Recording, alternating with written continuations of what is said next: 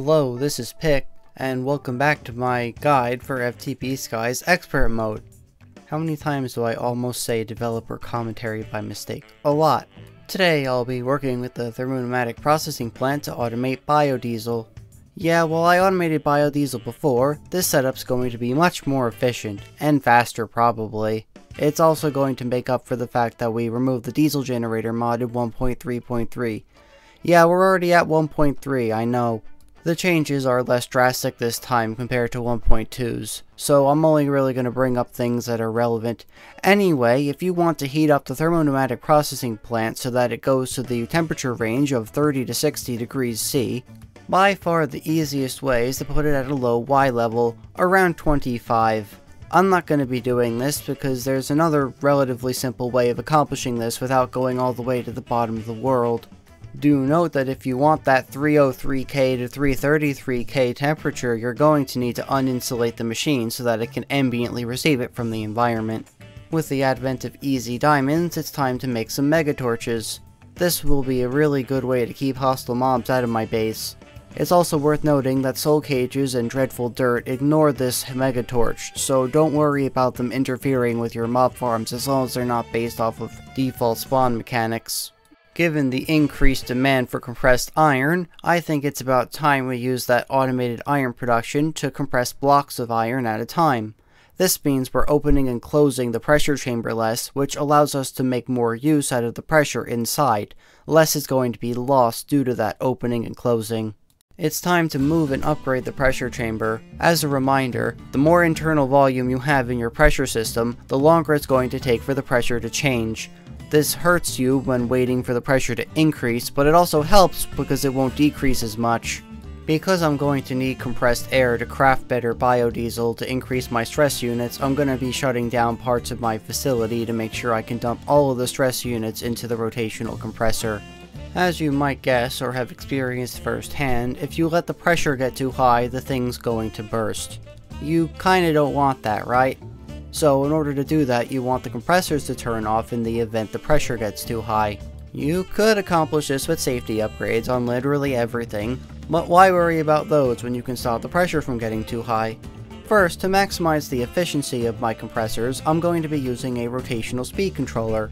This inputs power from the lower axis and exports to the upper axis, which is the one connected to the cogwheel. By setting it to the maximum speed of 256 RPM, I can set the compressor to make air at the maximum rate. The simplest way to monitor pressure is to use a pressure gauge tube module. This is going to determine when the system is at a particular threshold of air pressure.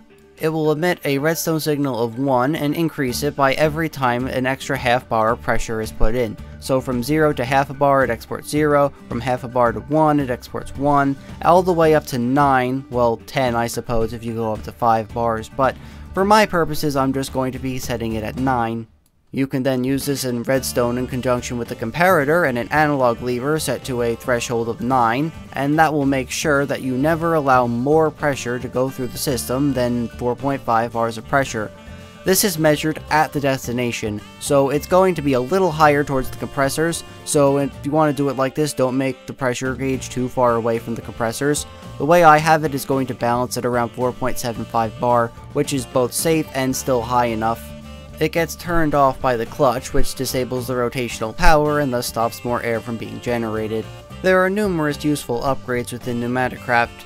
The safety module will stop your machines from exploding because it'll allow discharge of air before it reaches the critical point. Speed upgrades allow machines to go faster depending on which machine it is, not all accept it. Most importantly for me though is going to be the dispensing upgrade. It's going to allow auto export of fluids between machines. This means you don't have to use pipes so things can be more compact. You'll notice I went ahead and prepared a bunch of machines already. This is for the setup I'm about to make. The general process for automating ethanol using PneumaticCraft requires two thermopneumatic processing plants. However, I'm going to be using four, because then I can double my production rate. I'm also going to leave room for two extra sets in case I need to make more. I'm not going to be doing this optimally. You could use Mendosteen, which is grown in the garden cloche, and you can get that from a Shady Wizard if you want double the ethanol output, but because I still have sugar from the witch farm, I'm just going to use that for the time being. It's basically replacing those basins which aren't around anymore. Note that you will need to use mixers, I will make a video covering that soon. But anyway, you want all of your machines in thermal contact, this means they're all touching, and then they can share their heat evenly. But in order to get that, uh, let's see, 30 divided by 5 is 6, times 9 is 54, plus 32 is 86F to 60 divided by 5 is 12, times 9 is 108, plus 32 is 140F temperature range. I'll be using a vortex tube. You're going to need a regulator tube module, and then stick that on the edge of the pipe that the vortex tube is going to be on. Then make sure that you have the vortex tube with the hot end, that's the red end obviously, facing the machines. Put an analog lever next to it, and make sure that that regulator is receiving a redstone signal of 14. This means that only 0.3 bars are going to go into the vortex tube. If you don't regulate it, it's going to both A, be way too hot, and hit like the I don't know, some insane temperature range. I was to make a joke in Rankine, but anyway, it'll eat up all the pressure on your network as well, so it's not going to be good for your machines if they are not at high enough pressure and you're wasting all that compressed air. Also be sure to uninsulate your machines. I wouldn't have any unnecessary blocks touching them. That way you can make sure that the temperature range stays in that constant area that you need it to be. To set those ejector upgrades, just make sure to click on the bottom of a block. You just right click the upgrade on the face that you want it to be. In this case for me it's the bottom and that'll have it auto export out the bottom. Mushrooms are going in the top via material generator and sugars being imported from the witch farm. And that should be ethanol taken care of. Real quick I'm going to demonstrate what happens when the pressure passes the threshold. It's like I said, it'll automatically turn off past 4.5 bars. Normally, if you use redstone and distance to turn it off, you might get some stuttering. That might cause problems for your computer. It gets to be taxing on the game to constantly update it. But for whatever reason, my setup with the comparator seems to work every time and not like flicker insane. I don't know exactly why this happens, but that's what I'm doing, so copy my setup if you have flickering problems. Like before, I happen to use seeds to make my vegetable oil. They're just made in the thermopneumatic processing plant now, which means that they make double the vegetable oil they made before, but they require pressure instead of rotational power. I think it's faster and it's more efficient though, so don't worry about it. Speaking of the compressors though, I would just buffer your system with rotational power to make sure you always have enough to run your compressors. Don't be afraid to run less if you don't have the SU to support it. We're working on SU right now though, so we should have plenty. To operate the pressure chamber, instead of using those pedestals, you should probably just use hoppers instead. The trigger for the pressure chamber to input or export items is the stopping of transfer, so because the pedestals transport and then stop, it triggers them to start early. With the hoppers, they constantly import or export. Also, to make use of the output, I will be using an omnidirectional hopper. Shift right click it onto whatever inventory you're using it on, and then just make sure you use a wrench to rotate the input to wherever it's supposed to be. To combine the two at a higher rate and get a glycerol byproduct out of it, you're going to want to make your biodiesel in the fluid mixers. I am again using two fluid mixers, and the fluid mixers have a special mechanic where the higher the pressure you give them, the faster they'll craft. So this is a benefit to keeping them close to your compressors. Note that pressure does drop over the course of the tube, so if you make it too far away, it's going to be running at a much lower pressure than you might want it to. I've also entirely contained this setup within one chunk. I go through a couple different ideas on how I want to organize it, and ultimately I wound up just putting the fluid mixers one apart from each other. Now then, it's time to make some useful enchantments to help bolster our production of biodiesel. As we know, I've been using a Looting 3 sword on that witch farm. However, we can do much better. First of all, the soul steel sword I was using cannot be infused with water, so I've switched to netherite. I got netherite ingots as loot from a nether village. A stronger sword will be capable of taking mobs down faster, which means it'll be using less energy on the pedestal if I can knock it down from a 4 hit KO range to a 2 hit KO range. In addition, we can get that looting 3 as our base, but by bartering with piglins, you can get tomes for looting, which means you can increase that level for every tome you have, up to the maximum it tells you. This is a good way to not have to deal with apotheosis early on if you just want it for looting for your pedestals.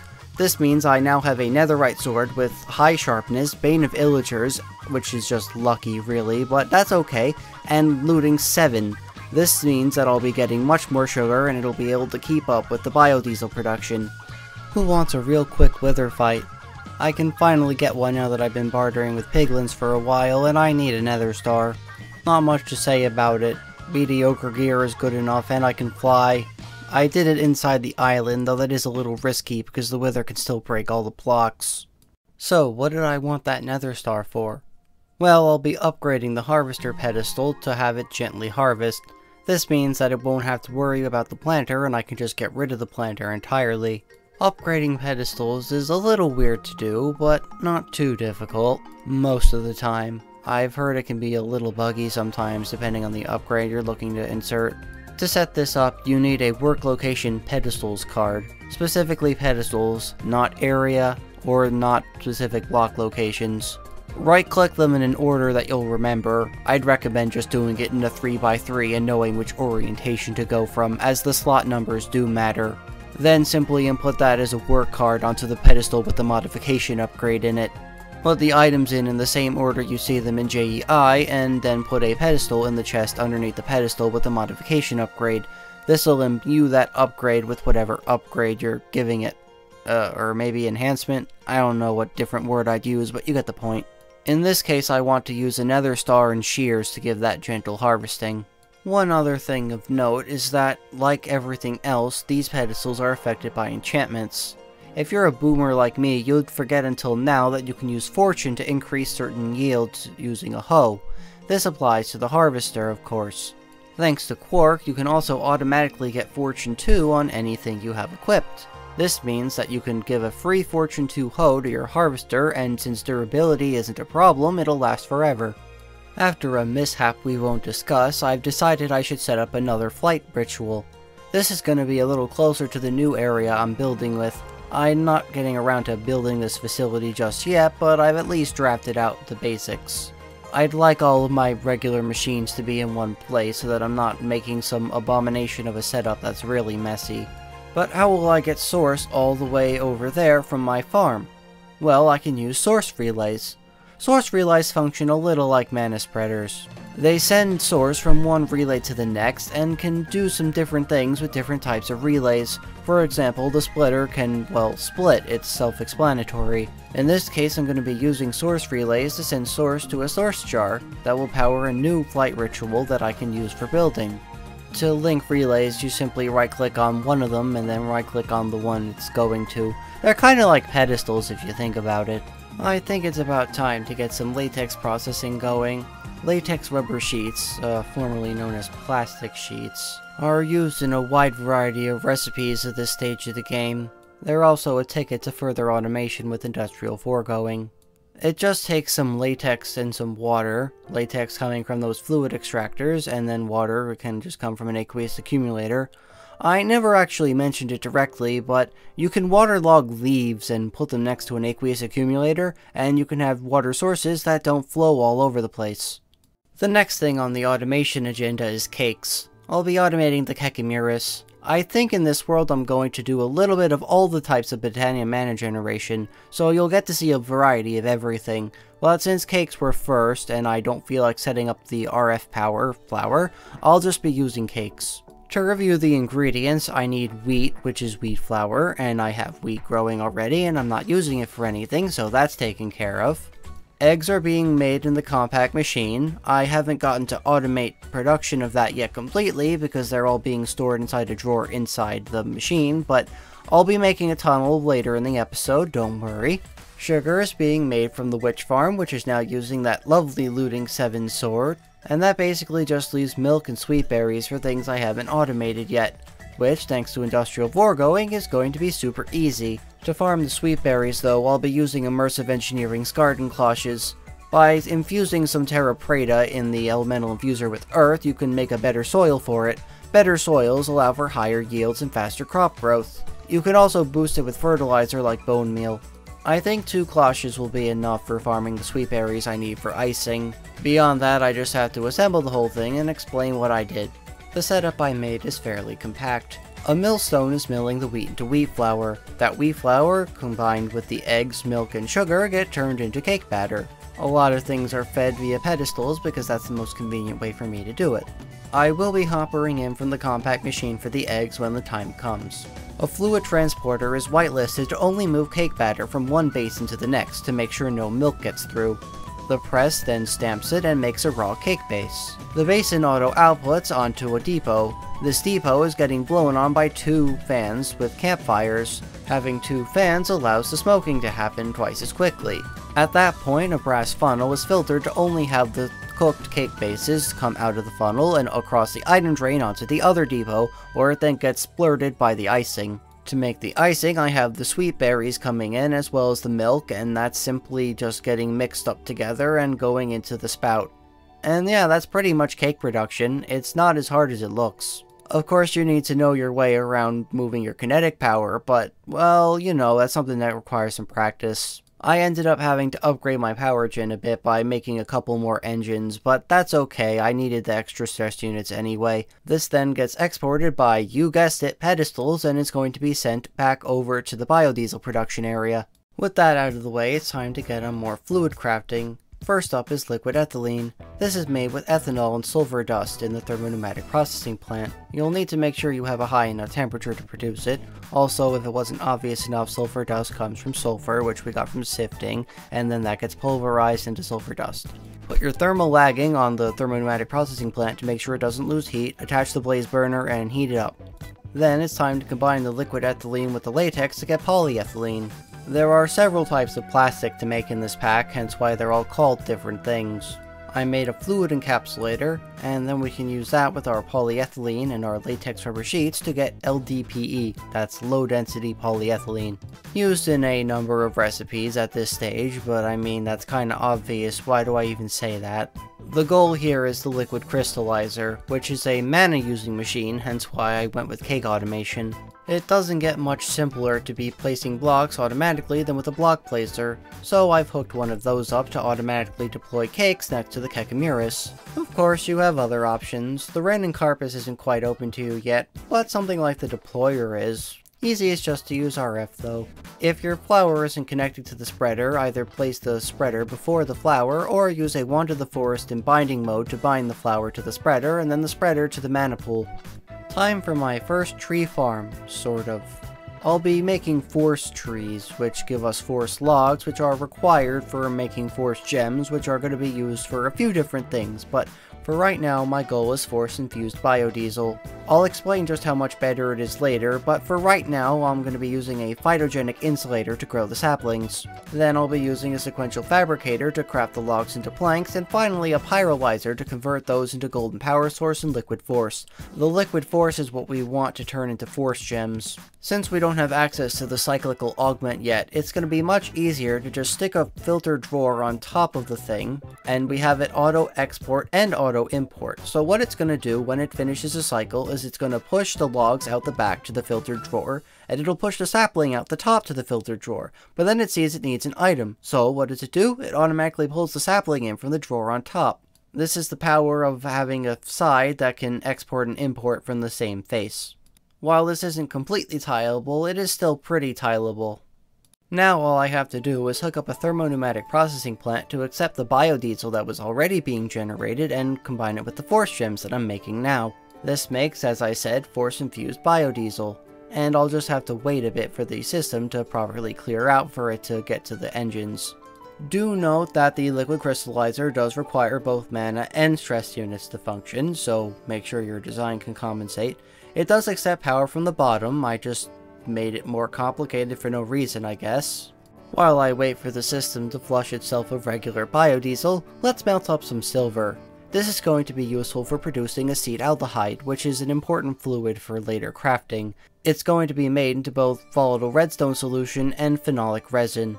Phenolic resin combines with paper to make duroplast sheets, and those get combined with copper plates to make circuit backplanes. This means we have access to logic circuits now.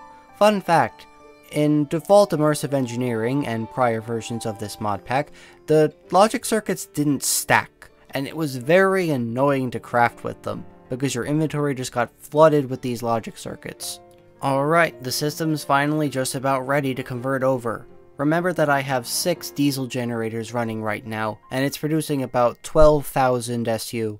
Once I run out of biodiesel in the diesel generators and the force-infused biodiesel takes over, I'm getting 6,000 per generator for a total of 36,000 approximately. Closer to 37,000, but you get the point.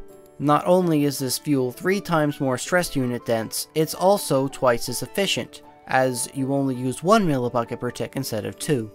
These diesel generators are incredibly good and will be only going up from here. I wonder who animated their really nice looking texture. Now it's time to get some tunnels going. Tunnels are a way of transporting things from inside the compact machine to outside, and vice versa. You just need to mill up some ender pearls to get some ender pearl dust, and you have pretty much everything else now that we have logic circuits going. To use a tunnel, you simply right-click on the compact machine wall block inside the compact machine that you want to connect to outside the compact machine. Then you need to decide which face you're going to export or import from. Each of the orthogonal squares to the center square on the tunnel is going to correspond to one of the compass faces on the world map.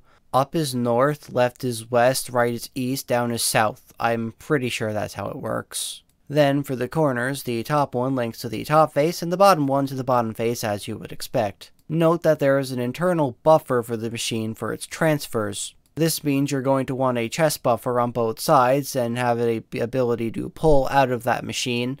Hoppers are a convenient way of doing this. I think I'll make a basic control circuit even though I'm not going to use it just yet. It's simply a logic circuit with mineral resin in the fluid encapsulator. The rest of this video is going to effectively be a rush to the assembly table. I want to get those automated bees, you know? Our first stop is volatile redstone. This is a combination of redstone and acetaldehyde in the thermodynamic processing plant. How many times have I said that today? Put that volatile redstone in a fractionating still and it will split it into destabilized redstone and redstone acid. Redstone acid can be turned into etching acid using a spider eye, gunpowder, and rotten flesh, while destabilized redstone is used in a bunch of other various recipes for various things. Real quick, I'd like to automate that netherrack and soul sand I never got around to, and stone 2 eventually, but for right now I can get away with an andesite mesh on that soul sand because the drop table is the same between it and manasteel. Manasteel will be processing the netherrack because it has special loot. By setting the worksite as a charging station, you can make a pressure mechanic who has some good and sometimes necessary trades. In this case, the tier 1 trade I want is a blueprint for the UV light box. However, the tier 2 trade can net us some transistors, which saves us some resources when crafting. Some tier 3 trades include pneumatic cylinders, which will also save us some materials. There's a lot of latex required, so anything that can save me some latex is welcome. So this is the UV light box. It's quite slow. It will over time turn empty PCBs into unfinished PCBs. You can determine the percentage chance of success that you want it to finish at if you want something lower than 100. However, I'm not one for failed chances, so I typically just max it out all the time. It will take a while, and it exponentially, or rather logarithmically changes its speed, meaning that the later percentages take a lot longer than the earlier ones. This then sends the unassembled PCBs into an etching tank, which when filled with etching acid, can process it if you heat the etching tank, it will make it run faster, but the UV light box is probably your rate determining step anyway, so it's not really worth it. How about we give our new and improved pressure chamber automation a test run? By putting in a slime ball, some latex, and some gold nuggets, I can make those capacitors I needed. Like I said, those hoppers make it so that the interfaces open as little as possible. Naturally, because of the high pressure buffer, it won't have any issues keeping its pressure up. I'm gonna sidetrack for just a moment. By making a dissolution chamber, I can make the simple machine frame. This is going to be useful for making a marine fisher. I decided that I don't want to deal with all that fancy fishing nonsense, and I just make an industrial foregoing machine that'll do it with no questions asked. To use the dissolution chamber, it doesn't have item stacks in it, so everything goes in one item at a time. You'll also want to make sure that you fill it with the correct fluid. If you want to empty it, you're going to need to use one empty mechanism tank. The marine fisher is going to run and I'll just let it sit for a while and we'll come back when I get the thing I'm looking for from it. That took less time than expected. What I wanted out of this was a Nautilus shell. This will allow me to make a temporal pouch. If you're familiar with time in a bottle, it's basically the same thing. As you wait with it in your inventory, it'll accumulate seconds for every second it's in your inventory. You can then spend those seconds to speed up things like machines. Very useful for some of our slower pieces of equipment. Make sure you have the power to support it though. Speaking of slow pieces of equipment, I've saved an empty PCB for this occasion. What I'm gonna do is put it in the UV light box, speed it the crap up, and we'll just see just how fast it processes. It's going much faster than it was before, and then that means the success rate is just gonna get higher that much quicker. For what time the temporal pouch was active, running it at 16 times speed, we ended up getting about 93%. That's very good, and basically means I don't have to wait for PCBs anymore, especially with how few of them you need. I really can't be bothered to make more of those pneumatic cylinders right now, so I'm just going to trade for them with that pressure mechanic. However, he requires Signalum coins for such a purchase. That means I'm going to need Signalum. In order to do that, I need an arc furnace, which means I need more blast bricks. Might as well set up automation for that right now. It's the same thing you saw before, except this time I'm using a logistical transporter to do the transporting instead of an item train. What's good about this is that I can set up a drawer at the front end of it, and then when something is finished, it'll just go there first. Expect to see that trick a lot when we have these types of sequence assemblies. While the schematicannon builds the arc furnace structure, we're going to need another component to make it run, and that will be the arc furnace electrodes. In order to obtain them, we're going to need some HOP graphite. To get the dust for that, we simply give a crusher spirit some coal coke blocks, which of course we have automated now. Or, well, coal coke, but you get the point. Normally, the arc furnace electrodes are annoying to get and annoying to maintain, but in this mod pack it's pretty easy for both.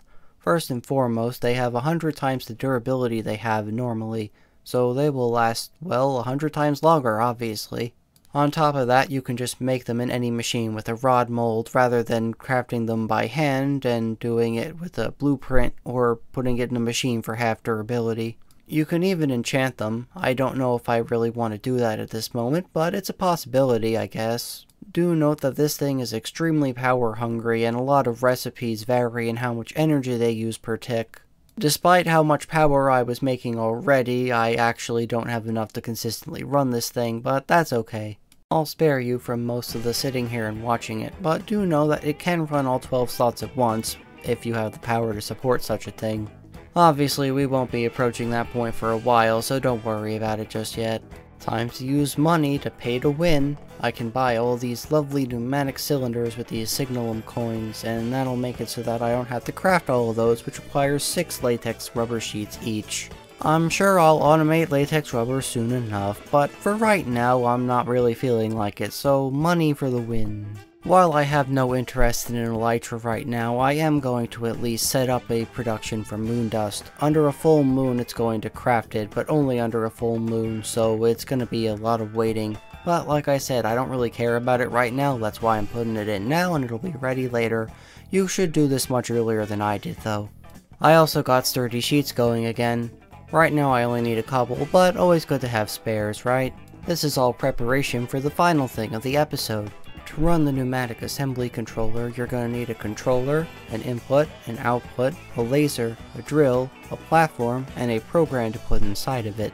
The drill and laser combo program can do everything, so just make that one. Of course, it requires both of the individual drill and laser programs. Both the drill and the laser should be next to the platform, and both the input and the output should be diagonal to the platform and adjacent to the input or output chest. You can use one chest if you'd like. The way I have it set up, it's easier to just have separate chests. It's awfully slow at the start, but you can put in speed upgrades once you have the pressure to manage it. I'm just going to sit here and let these electrum plates progress. I chose this recipe in particular because it gives us the upgrade base for productive bees. This is going to be extremely helpful for actually using bees and getting good use out of them and thankfully I've been automatically producing honeycombs and stuff this entire time, so I can get right into crafting with it. There are two upgrades that are of particular interest to me right now. The block upgrade allows it to produce full blocks of wood or stone instead of those chips which made it 9 per, and that was just awful, right? So with this block upgrade, it simply makes a full block each. Now we have actual production going. The other is the simulation upgrade. This means that the bees never actually leave the hive, which means they don't go into the void and die. You can also put up to three quote-unquote flowering blocks in a feeding slab outside the hive so that they can automatically feed from it and produce respective drops. I went ahead and made some more carpenter bees, and look, they've made some wood logs for us. Note that they work on a large number of things that you might not expect. One of the example is living wood. Alternatively, you could also make a quarry bee and make reinforced stone, which I will be about to do. Farming bees require Phyto-Gro, you can get niter for Phyto-Gro by pulverizing sandstone. From there, use some of that quantum infused or stable whatever bedrock on a farmer bee to make a quarry bee. Quarry bees handle the dirts and stones of the world. Weirdly enough, they're compatible with chip dirt, in case you're into that. And so, once again, we have reached the end of the episode. And once again, we've gotten a lot of automation done today different things like cake and automated bees and most importantly that force infused biodiesel. So with that, this has been Pick, I'm glad to have seen you and I hope to see you again.